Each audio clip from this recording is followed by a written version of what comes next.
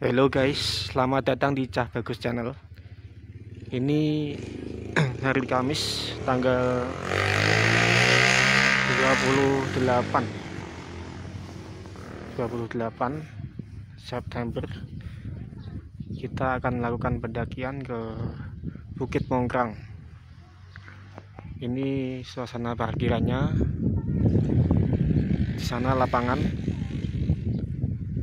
kita dari arah sana tadi ya arah Tawangmangu kalau dari Tawangmangu itu sebelum basecamp Cemoro Kandang kita belok kanan ke arah Bukit Mongkrang tinggal ikutin aja pelangnya nanti sampai ke parkiran sini. Kita akan masuk ke warung buat penitipan motor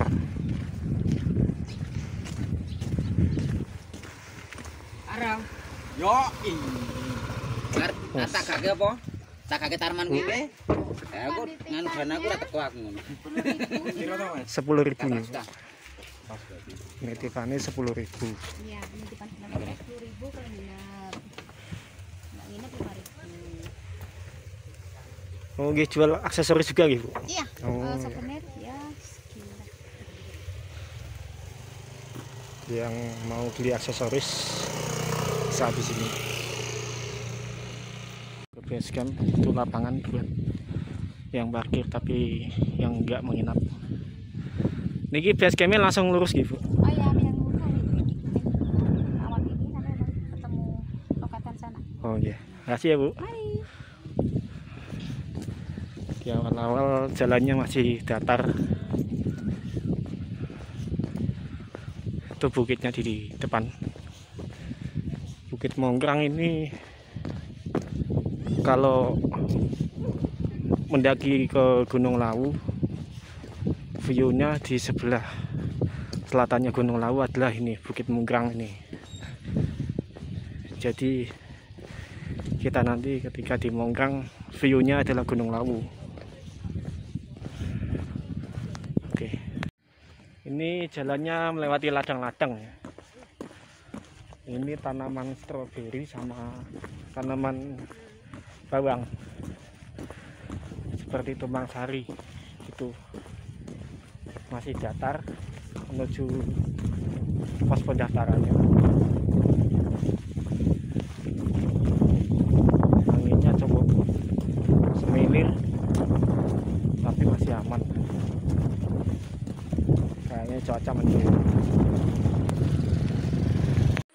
sekitar 10 menit dari parkiran yang tadi. Ini kita sampai di loket pendaftaran. Itu mas-masnya yang berjaga.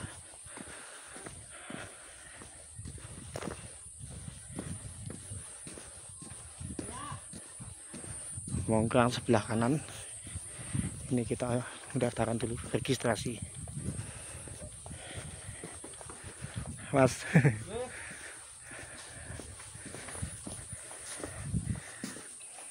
Bu, eh, mau ngecamp?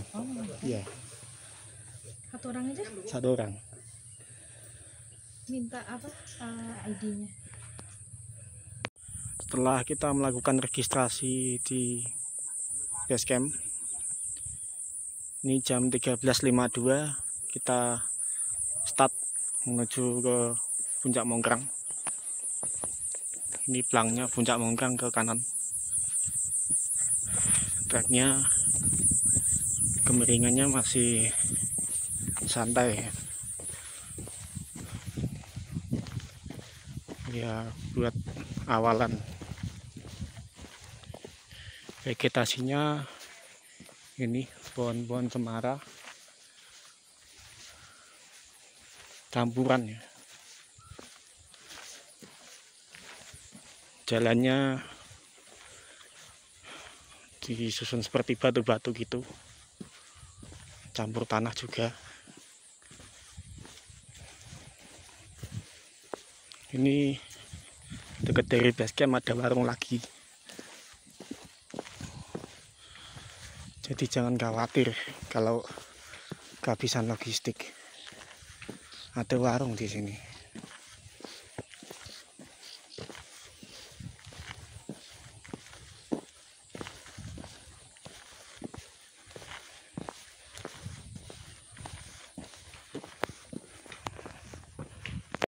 Beberapa meter dari base camp ini ada plang gerbang.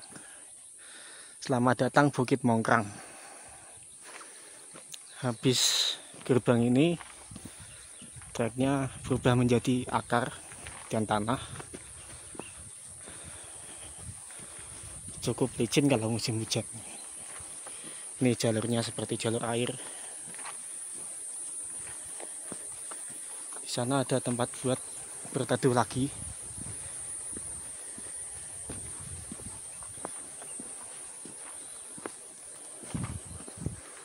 Viewnya belum kelihatan ya.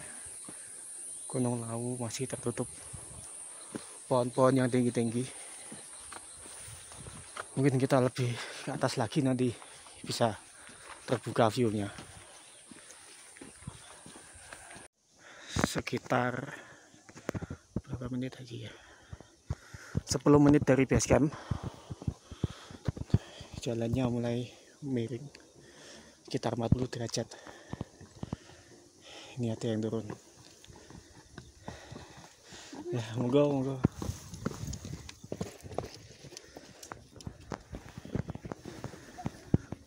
Tanahnya tanah padat. Tapi kalau pas kena air hujan licin terlihat ada bekas-bekas orang kepleset itu.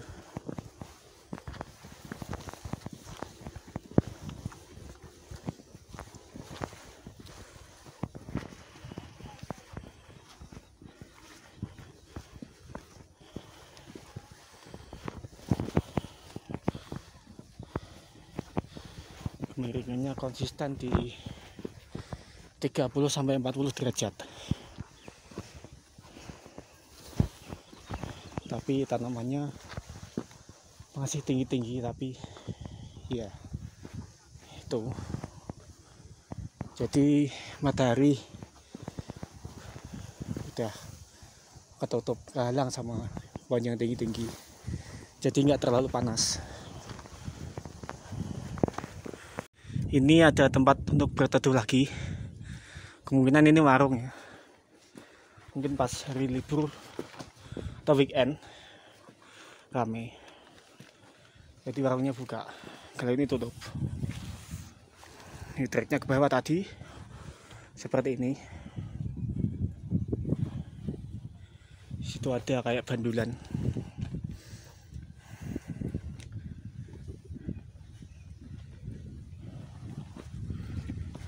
Ini atas kemiringannya masih sama.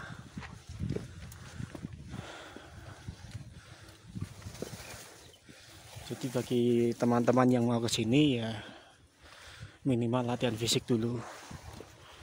Karena walaupun treknya pendek juga kemiringannya cukup menguras tenaga. Apalagi yang bawa beban berat pasti tenaganya cukup terkuras.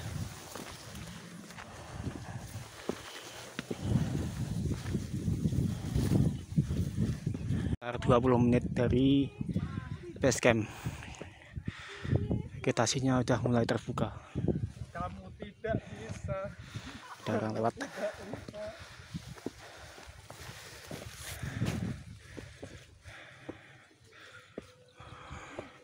dari mana mas? Dari Madiun. Oh Madiun Ya.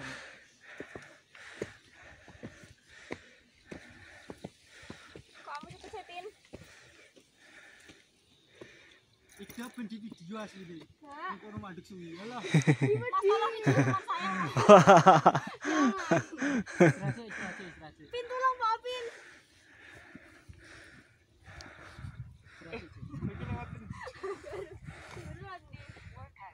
lewat samping mbak enak lewat samping Ini terlalu Oh no.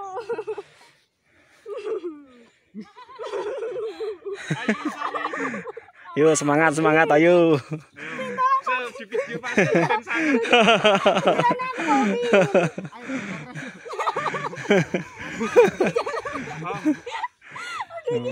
Apa deh? Alah,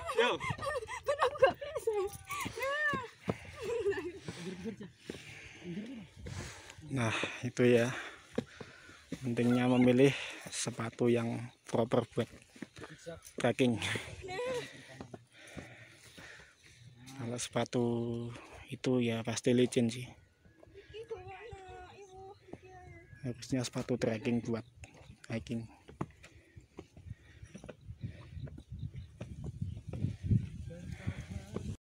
Lagi-lagi ada warung. Jadi kayaknya emang benar-benar proper buat pemula. Tapi tutup.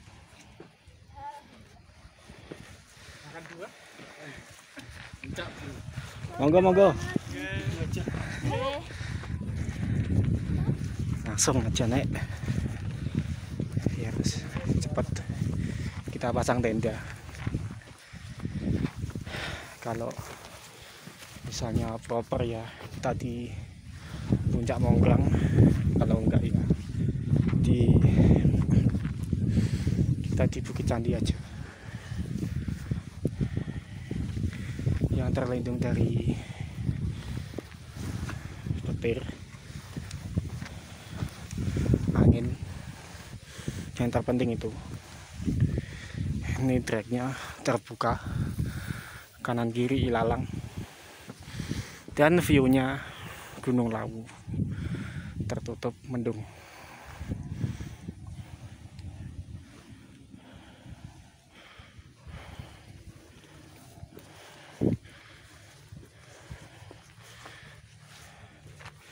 Untung belum hujan. Kalau hujan ya lengkap lah rintangan di sini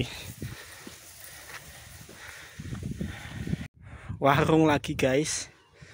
Kayaknya ini lebih mirip tempat wisata daripada pendakian ya. Karena banyak warung. Berapa meter warung berapa meter warung. Buat badok hikers bisa sepuasnya di sini.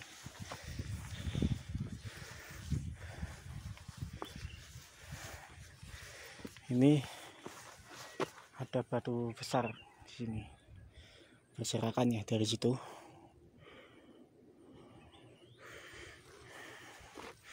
Di depan itu tanjakannya cukup tinggi kayaknya. Coba kita ke sana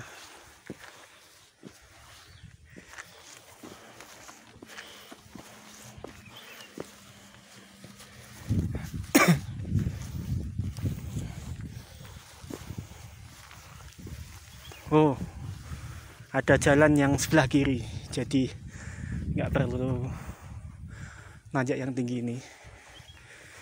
Kita bisa ambil yang kiri.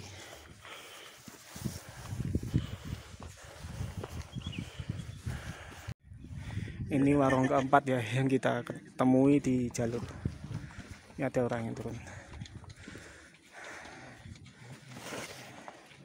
Sendiri kok, Mas. Iya mas sendiri mas. Yang camp masih banyak mas.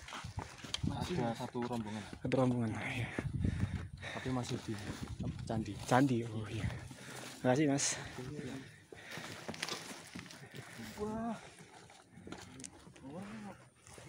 Pentol kuah 50 eh, 5000 tapi nggak jualan ini view-nya nah. Masih tertutup kabut. Mendung. Di sana mendungnya mendungnya cukup hitam ya. Kayaknya kita harus cepet-cepet sebelum hujan. Ya. Trek dari warung yang tadi cenderung landai naiknya dikit. Setelah ini mulai nanjak lagi. Tapi ya nggak terlalu tinggi sih. Ini jam 14.29 14.29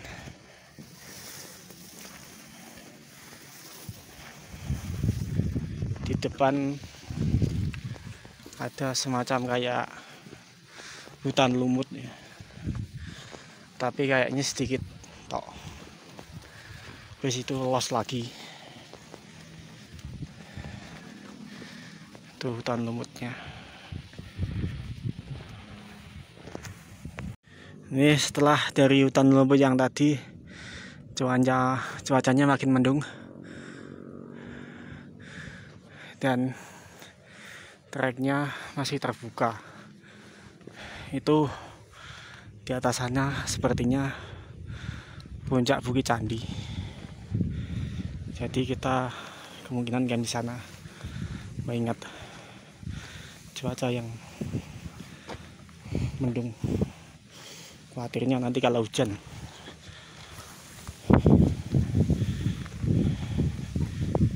Anginnya sudah mulai kencang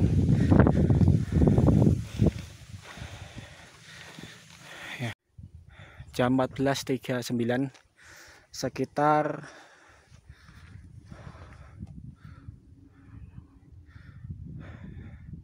sekitar di 47 48 menit 48 menit dari base camp.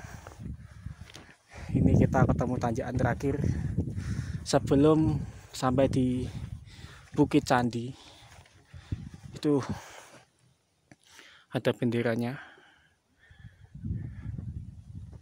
Sepertinya ada suara orang di atas ngecamp mungkin ya. Wah ada yang turun.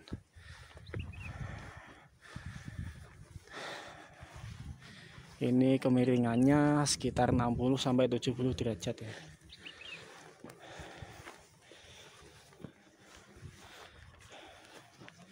Cukup menguras tenaga ya. Kita jalani saja. Dan kita nikmati prosesnya. Oh. Ini ada buah namanya arbe gunung ya. Ini bisa dimakan. Tapi ini bukan pakan ulo ya. Ini buahnya yang enak yang warnanya seperti ini. Bisa dimakan rasanya ada manisnya ada asamnya ada segernya juga. Lumayan lah buat camilan di perjalanan.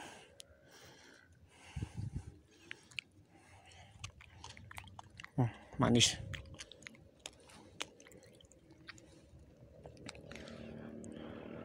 Buah seperti ini biasanya ada di daerah pegunungan di jalur-jalur pendakian. Khususnya kalau di Lau ada ya.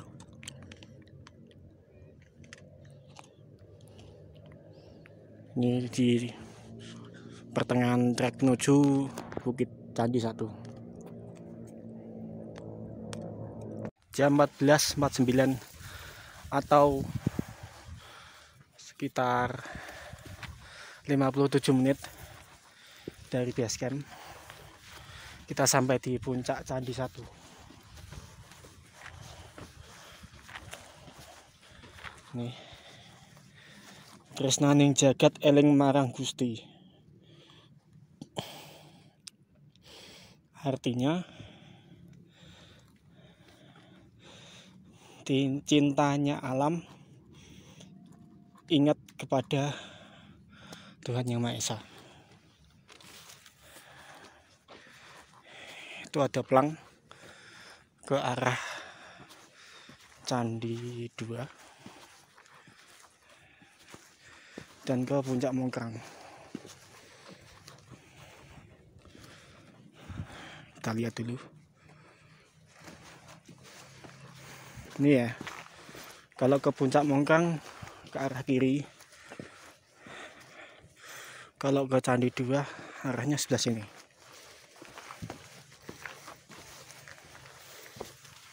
Uh, ada tupai.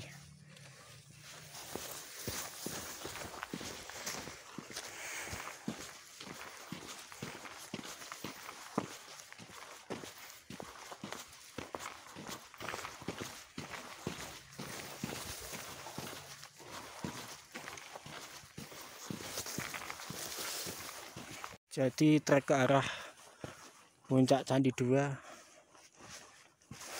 cukup rapat ya. Kanan kiri tanaman paku.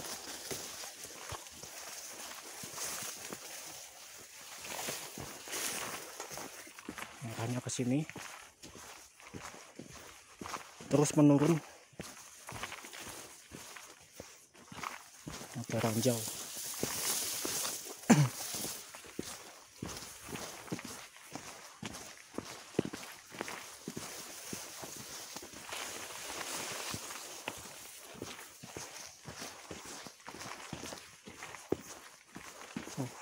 kabut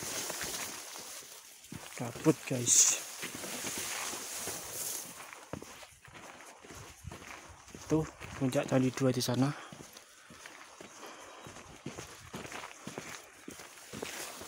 kita ke arah yang ada manusianya saja karena di candi satu tadi tidak ada manusianya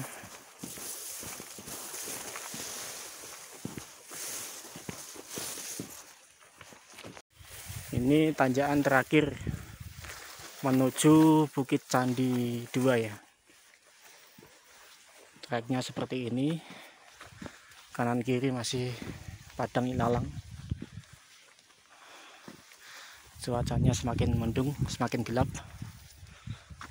Sebaiknya kita harus cepat-cepat bangun tenda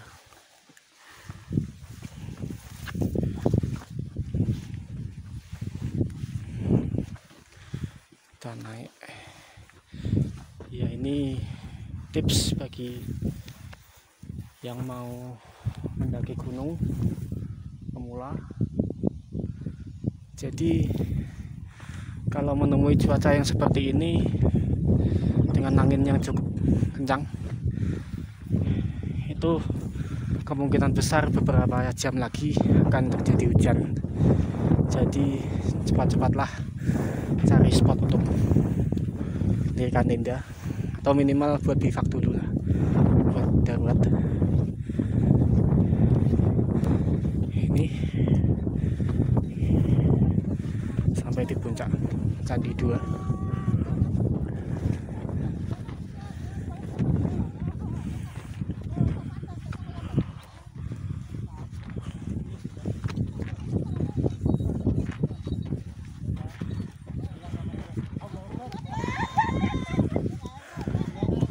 sepi guys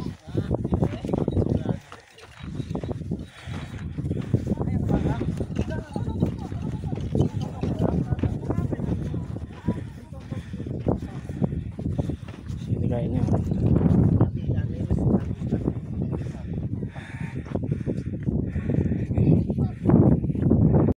ini guys ketemu teman-teman dari Sragen Iya bro, Uh, salam kenal bro.